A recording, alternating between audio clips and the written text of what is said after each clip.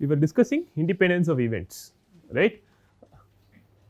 So, we said so we fixed a probability space and we said that A and B are independent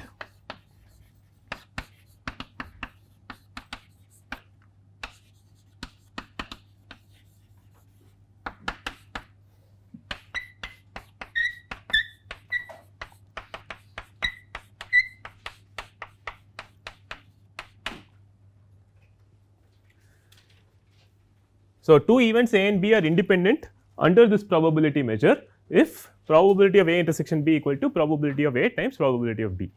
Okay. Uh, under some other measure they may not be independent right. So, it is a whether two events are independent or not depends on what probability measure you are talking about. But I will not keep saying that oh they are independent under measure P because when it is understood what measure it is. When it is not clear we have to specify under what measure they are independent right. Are there, are there any questions on this? We discussed this in reasonable detail last class. So, now I want to move on and define it for this is just for two events right. So, I, I will the program is that I will define it for now n events then I will define it for an arbitrary collection of events possibly infinite collection probably even uncountable collection of events. Then we will move on to defining independence of sigma algebras okay that is something you will not be familiar with. Independence of events you would have seen at various levels right. So, this is one definition 2 so a 1 a 2 dot dot dot a n.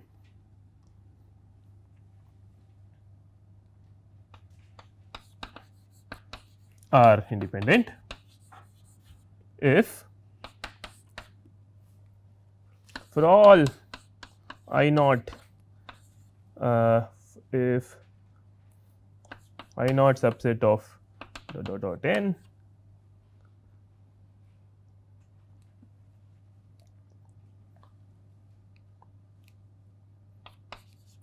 we have probability of intersection i in i naught a i is equal to product i in i naught probability of a i. Did I write it correctly? Yeah, for all actually for all non empty i in i, I subset of i naught, i naught subset of 1 to 10. So, what this means is that uh, independence of let us say n events or 3 events you have to not only verify that the product of the three way intersection products out, but you have to verify that every possible subset intersection also products out into the individual probabilities right. So, if you have a 1 a 2 a 3 for example, it is not it is not enough to verify that probability of intersection a 1 a 2 a 3 is product of the individual probabilities. You have to verify it all 2 at a time and then all 3 at a time. Similarly, for n events you have to verify that all possible subsets have this property right. So, if you have n events how many equations do you have to satisfy how many equations do you have to check 2 power n uh, all non empty some of one of them is non empty see one of them is empty right. So, I should say for all non empty I uh, if for all non empty non empty i naught in blah blah blah uh, all that right. So, now I have to there are 2 power n possible subsets of 1 through n right, but one of them is empty and the singletons lead you to trivial equations right. So, you have to actually verify 2 power n minus n minus 1 uh, equations to be true right each one of them has to hold true in order to assert that a 1 through a n are independent even if one of them fails to hold they are not independent. Okay. You can for example, you can create examples of 3 events which are all pairwise independent a 1 a 2 will be independent a 2 a 3 will be independent a 3 a 1 will be independent, but they may not all be independent. Okay. Uh, you can also create examples where probability of a 1 intersection a 2 intersection a 3 products out, but one of the couples do not product out right all these are possible, but you have to have all 2 power n minus n minus 1 equations checking this verifying this in order to assert that n events are independent. Okay. Any questions?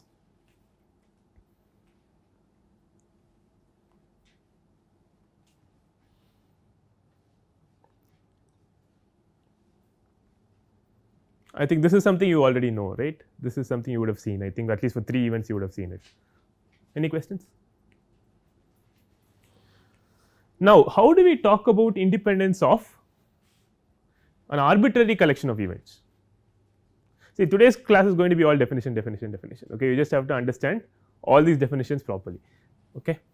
Uh, so, if you have not let us say not n events, you have some arbitrary collection of events a i and that index set a i uh, the index set may not even be some countable index set, it may be some uncountable index set, right. So, if you have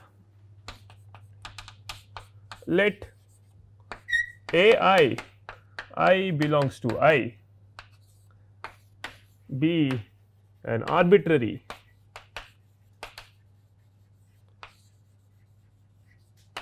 collection of events.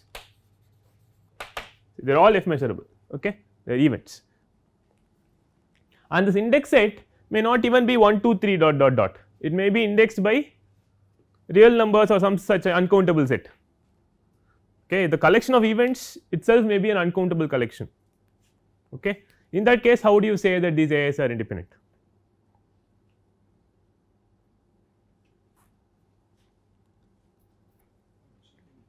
hmm? So, no now see independence of so this is probably an so this is maybe an uncountable infinite collection of events. So, independence is only verified for finite subsets. Okay? It is only uh, you verify for every possible finite sub collection of these events you verify this. Right? These events are said to be independent if for for all non-empty and finite i naught subset of i we have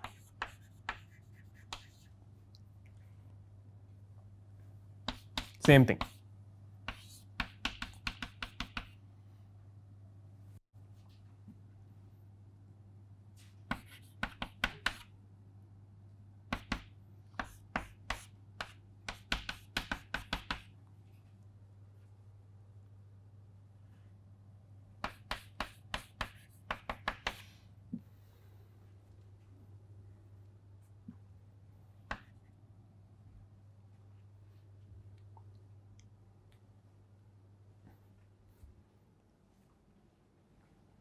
okay.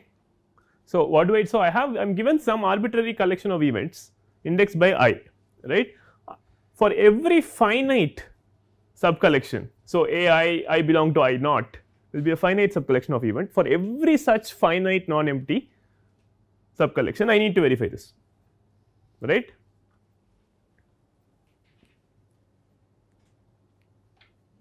Okay. Definition there is no why to it right there is its definition.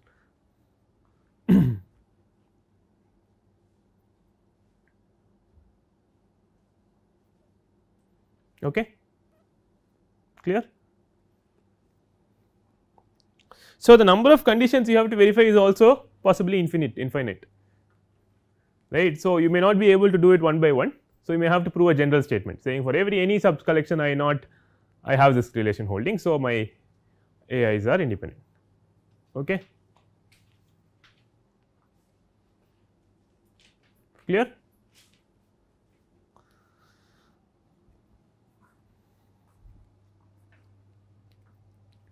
As an example, so if you if you recall, so let us say example, recall the infinite coin toss model.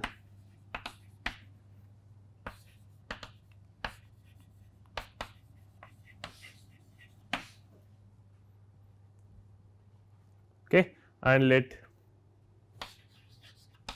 AI be the event that the ith toss is heads. Okay. So, but so what does I, AI consist of?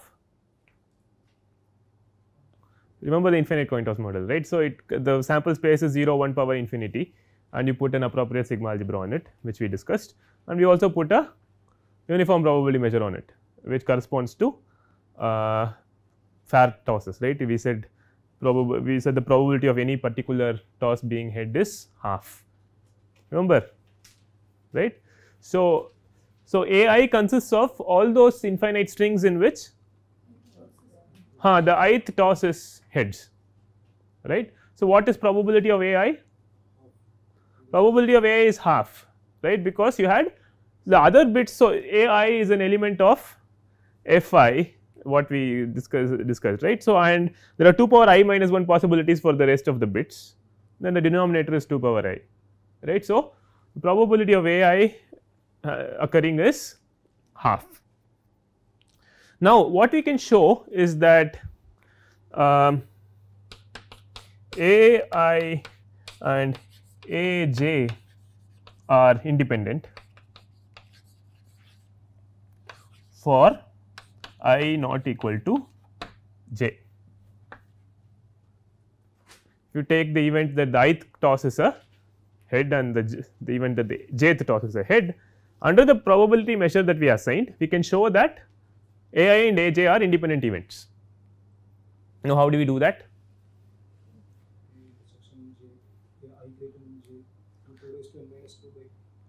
Correct, correct, correct. So, if you have let us say j is bigger than i for the sake of argument, then both ai and aj will be fj measurable events correct the bigger of the two fj measurable events and what is the probability of ai intersection aj you want the ith bit and the jth bit to be heads right and the rest of the guys you can have anything 2 power j minus 2 possibilities and denominator is 2 power j so 1 by 4 is the probability of ai intersection aj Similarly, uh, that is equal to probability of A times probability of AJ. Why? Because probability of AI is half. There no, we are proving independence. Okay, therefore, A and AJ are independent. Is that clear? so, any two, so the event of the jth coin toss and the ith coin toss coming up heads is there are two independent events. In fact, what you can show is so, indeed, indeed a i i greater than or equal to 1 are independent events.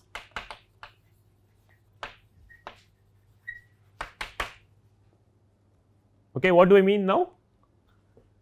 A i is the event that the ith toss is a heads. I am saying that this whole collection of events are independent. This is uh, the, what kind of a collection of events is this? Hmm? No, no, no, no. Indeed, no. See, I am. This is a collection of events, right? So it, this is what this is like this, right? It's a countable. It's an infinite collection of. It's a countable infinite collection of events, and I'm saying they're all independent. Now, so what do I have to verify? I have to verify definition 3 right. So, for every finite sub collection I have to verify that this relation holds. So, what will I do? Hmm? So, I have to verify infinitely many relations right. So, I cannot do that. So, I will fix any finite sub collection you want okay. How many how many elements do you want in I naught? Let us say you want k elements for any k okay. I will prove a general statement saying for any k take i 1 i through i i k there are arbitrary indices in this i okay they may not even be consecutive or anything right now you do the same trick right they are all f i k measurable right you are only fixing those particular bits right you can compute the probabilities right the same trick. So, you would have proved a general statement about any finite sub collection of these events will satisfy this and therefore, by definition they are all independent coin tosses. Is that clear? I just complete this argument okay I think it is a very good exercise to do. So, you have to fix an arbitrary k and an arbitrary i 1 i through i k okay, and then prove the statement. Okay, so this you will show homework.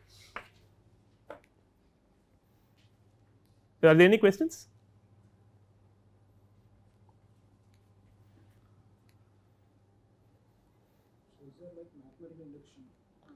There is no mathematical induction involved, you are just proving it for an arbitrary k and arbitrary i 1 i 2 i k.